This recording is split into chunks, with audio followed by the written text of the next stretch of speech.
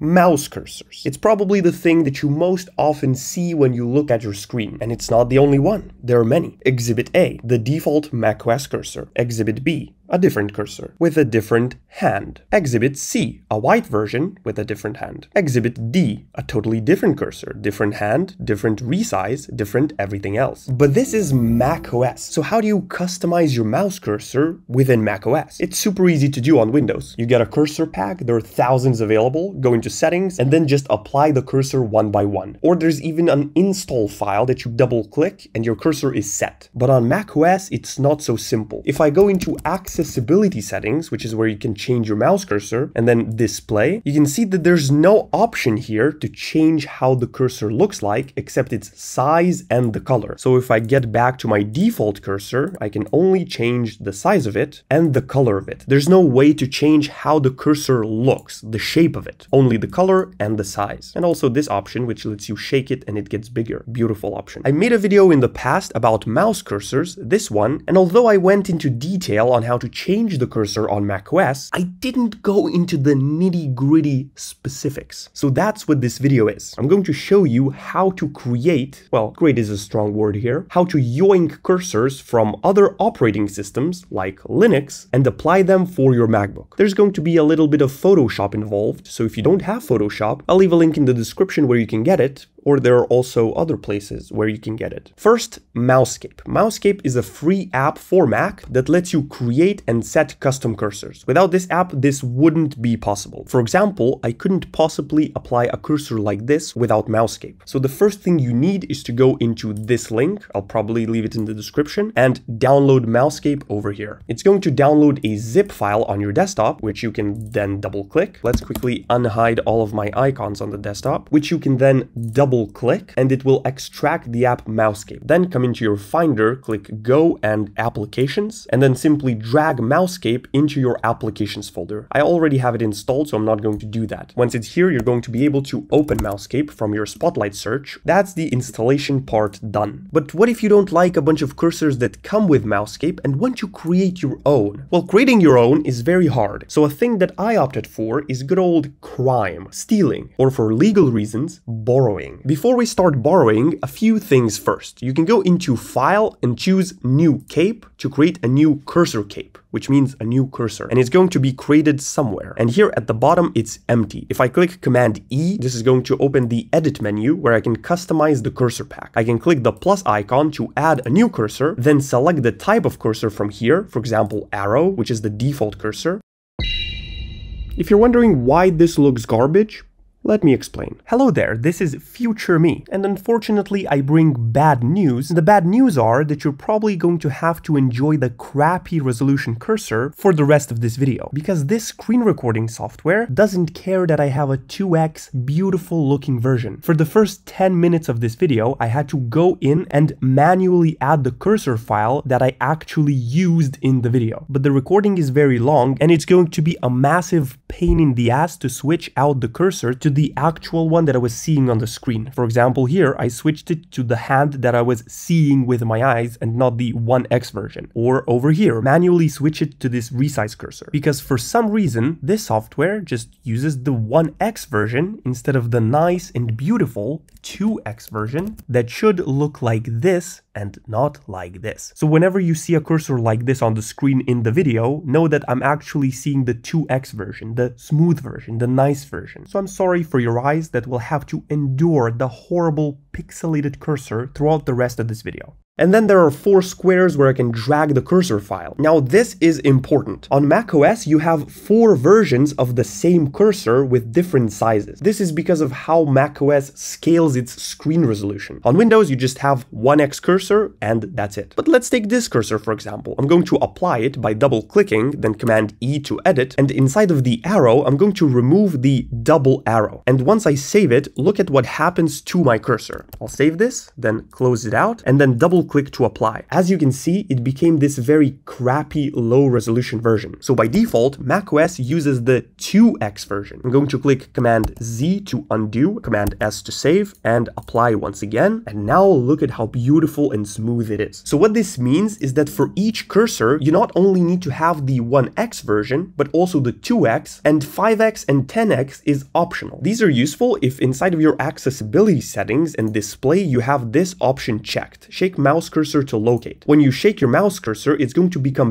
bigger, and that's what the 10x version is used for. Or at least I didn't find another place where the cursor gets 10 times bigger. So now if I shake it, it becomes the crappy version. If I had a 10x version, it wouldn't become a crappy version. But instead of doing all this work, you can just uncheck shake mouse cursor to locate, and you don't have to worry about that. So now we know that for each cursor, we need at least two versions of it. The default size, and then the bigger size. But where do you even find mouse cursors? Well, there are a couple good websites. First one is gnomelook.org. This is where I found the Captain cursor pack and then obtained it for myself. You can go into cursors and then browse most recently added ones, or go into most popular ones and browse most popular ones. Now with this Captain cursor pack, I got really lucky, downloaded one of these files, which I don't remember which one it was, probably this one or this one. Let's try the white variant now. And inside of its folder, I found PNG versions of the cursors. Not this file, I'll try a few more. There we go, it was this file here. And as you can see, there are 1x and 2x versions of this cursor, and they're all PNG files, which meant that I can come into Mousecape, create a new cape, then right click, edit, add a new cursor, let's say arrow,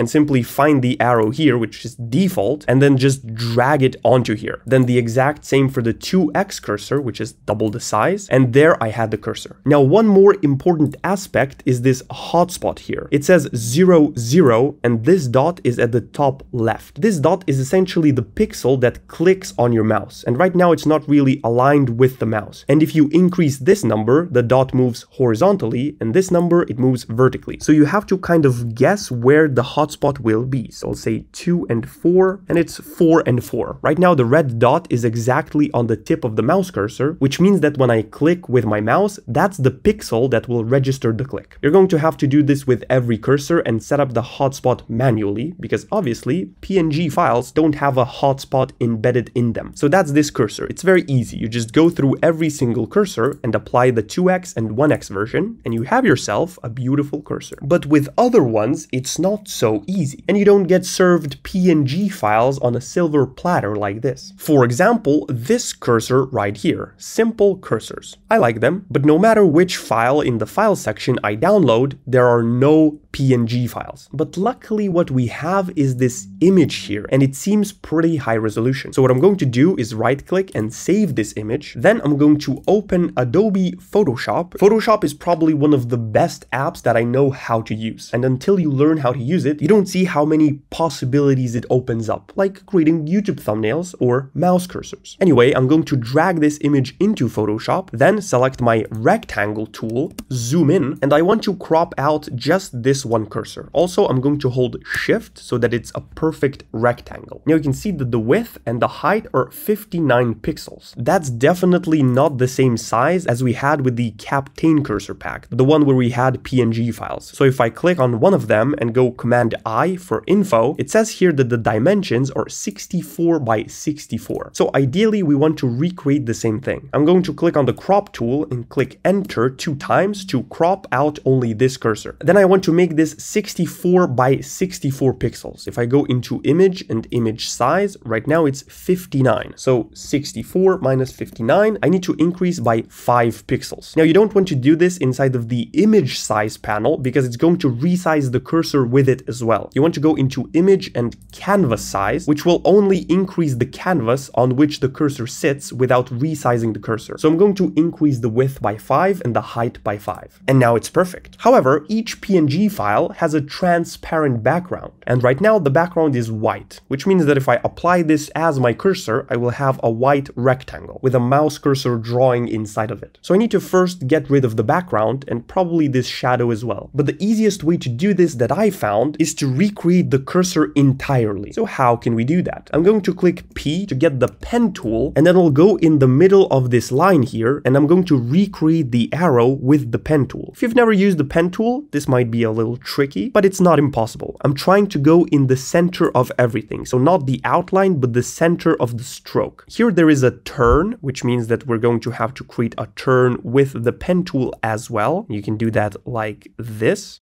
Boop. Perfect, we have the outline. Now I can essentially turn this into a custom shape in Photoshop. So I can right click and choose something and click define custom shape. Mouse cursor for video. And now this has been created as a separate shape. I can come here and select the custom shape tool. If you don't see this, right click and select the custom shape tool. It will most likely be the rectangle. And now from the shape panel, I can scroll down and select the newest shape. This is the shape. And now I can draw draw this shape wherever I want. If I don't hold shift, I can even stretch it out like this. Obviously, I'm going to hold shift. Now I started it here and I'm going to hold space so that I can move it around and I want to make it exactly the same as the cursor I see here. Boom. Perfect. Well, doesn't look so perfect. But that's because it has a custom stroke and fill. Right now the stroke is 15 pixels, which is a lot. So I'm going to decrease it to something like 2 pixels. And as you can see, if I disable and enable it, the mouse cursor is basically the same. I'm going to disable the background and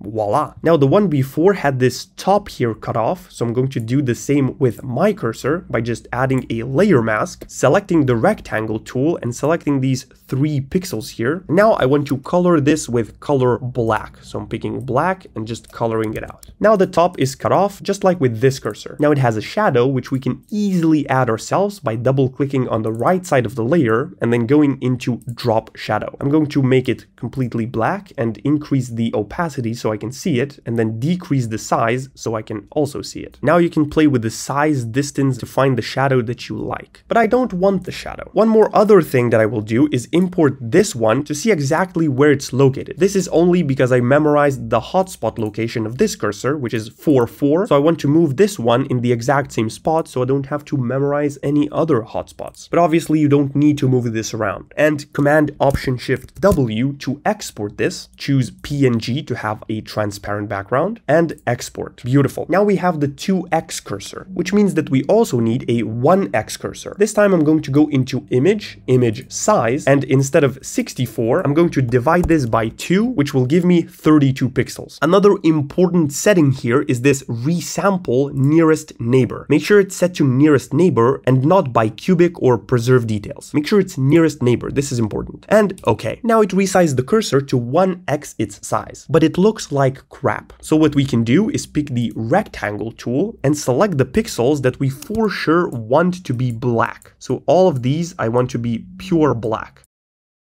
Then I'm going to add a new layer, pick my brush tool, set its color to black, and just paint it black. Never mind, that looks horrible. I'm going to delete this line and see how it looks like now. Still completely horrible pretty legit. And then I'm going to invert the selection with Command Shift I and delete everything else from the screen, which basically means color everything black inside of this mask.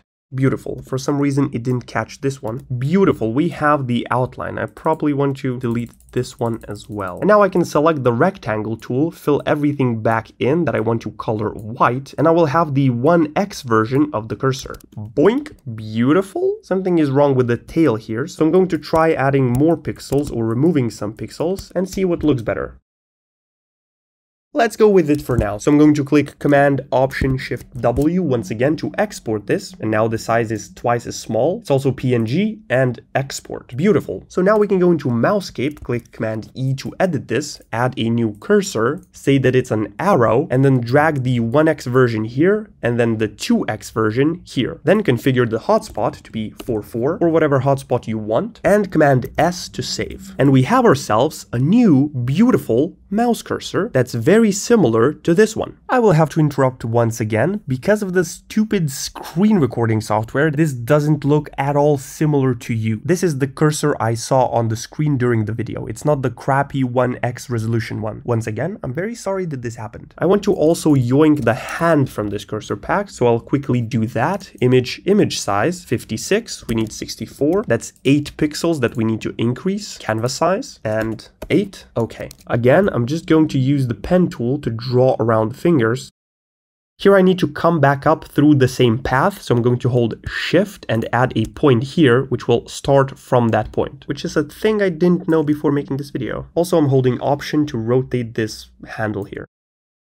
Just like so, ladies and mental gen. Define custom shape and then from custom shapes choose the hand and draw the same exact hand. Beautiful as always. Two pixels as the outline. Now we have some unexpected issues here, which I'm going to cover up with a layer mask down here because I can't be bothered finding out why this is. And then here I'm just going to draw with color white to hide them. Also, it's probably a good idea to save this before we resize everything so that we can go back. So I'm going to convert this to a smart object object, which will basically save the hand inside of it. And then image, image size, and divide this by 2 to get a 1x version. This doesn't look like we're going to need much fixing, but I'm still going to color everything pure black instead of this gray color. And now if I go to Mousecape and add another cursor, which is going to be pointing, I can put my 2x hand here and 1x hand here. The hotspot will be 13 and 4 maybe? 13 and 5. I must have screwed up the size of the 1x cursor because the hotspots don't match, but let's ignore that for this video, I'll fix it later. And now I have a new hand cursor. I also made a black version of this by inverting everything and also made the beam cursor, the text select, a little larger. So now it looks like this. Now all we need to do is the exact same process with all of these other ones, which of course is a shit ton of work, and to avoid this you can simply get PNG versions like I did here. Now Mousecape also works with .cur files, which are cursor files for Windows, so you can go into websites like DeviantArt, which have a bunch of cool cursors for Windows, and then download these from here and apply them to your Mac without any Photoshop shenanigans. Also, you can find a bunch of Linux cursors on GitHub. If you Google for something like Linux Cursor's GitHub and go into Linux Cursor themes, you can see there are a bunch of themes.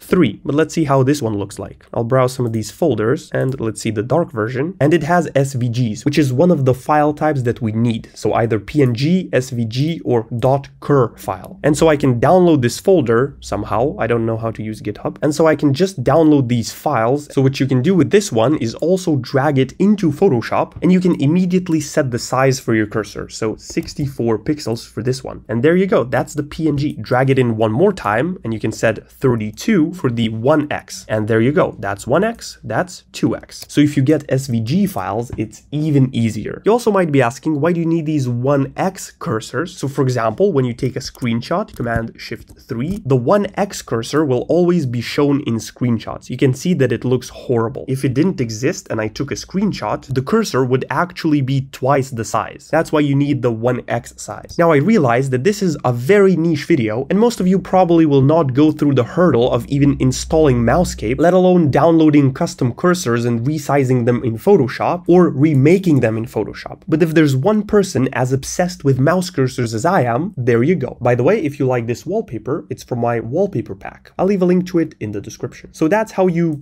borrow and customize mouse cursors on macOS.